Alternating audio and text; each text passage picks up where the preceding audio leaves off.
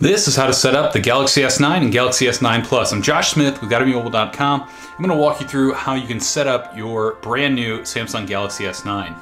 So one of the first things you're gonna do is turn it on, and on this screen, you're going to be able to either use a voice guide or just get started. We can also choose our language. I'm gonna leave it at English. I'm gonna hit start. I have a Verizon phone. They've sent this one over for us to check out and walk you through some of these features. On this page, I'm gonna agree to all of these. You can go ahead and hit learn more and read more about it. You can't use the phone without agreeing to them. And now this phone is active and you'll see your phone number on screen. We'll have ours blurred out right here and we can go into next and I can set up Wi-Fi. So I can connect to one of my Wi-Fi networks by entering the password. And this can connect to the faster 5G connection in your house. And once we have that done, we're gonna go ahead and hit next, and it's gonna go ahead and check for updates. Now, if you just got this phone, you might not see an update, but if you're picking it up and it's been out for a little while, there's a good chance that you'll have to download and install an update. Now we're gonna sign in with our Google account. Once you have that all set up, you can choose if you wanna restore from a backup of one of your phones that you're already using. This is a nice way to get all of your stuff right onto the phone and be ready to go. I'm gonna choose don't restore because I wanna start fresh and just put on the stuff that I need and want to use on my new phone. So I can choose the different ways to protect my Galaxy S9. Intelligent Scan uses your face, your irises, a whole host of things, and it's the most feature-packed version, but you can also just choose no pin, which we don't recommend, or just a normal pin and fingerprint scanner. I'm gonna go with set up intelligent scan. And so to do this, I'm gonna first put a screen lock, which is my backup, and then I'm going to register my face and irises with the phone. So I'm gonna hit continue, and I'm going to choose a pin. And in my case, I'm gonna say require this when the phone turns on, and I'm gonna enter my pin, and you enter it again to verify your pin. Now here is a list of things you need to know about using the scanner. You want to keep it at least eight inches away. Uh, unofficial screen protectors might interfere with it, especially if they are uh, privacy protection ones, and uh, apparently don't use this feature with infants, so keep that in mind.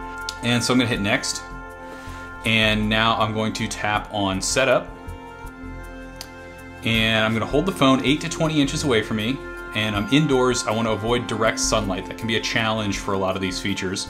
I'm gonna hit continue, and I'm gonna put my face here in the center, and my face has been registered. And so I'm now going to register my irises. Once you get your irises registered, you can't really do it in this much brightness, but once you get those registered, then you'll go over to another screen and you can see some Google services. And so I'm gonna back this up to Google Drive and also turn on location, improve location accuracy. Basically, I accept all of these and hit agree. And now I'm gonna get walked through Google Assistant. I can decide if I want to give Assistant my location.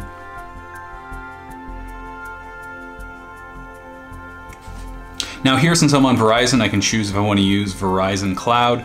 It gives you uh, some backup for contacts, messages, photos, and more. And in this case, I'm gonna skip it. Um, it's $5 per month for 500 gigabytes of storage space, which is a pretty decent amount.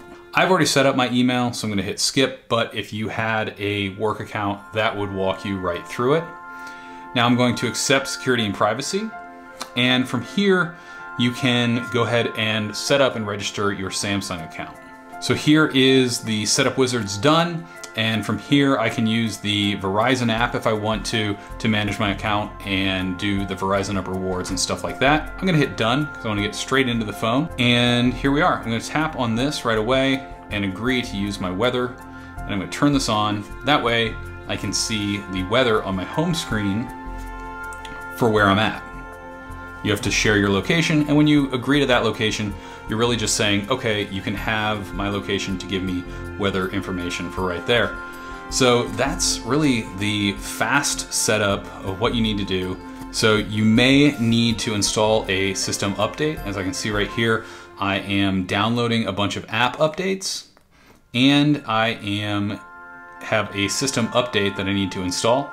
So that's really all there is to setting up your Galaxy S9 or Galaxy S9 Plus. I'm Josh Smith with GottaBeMobile.com, and you can check out more at Gotta Be Mobile and in links below.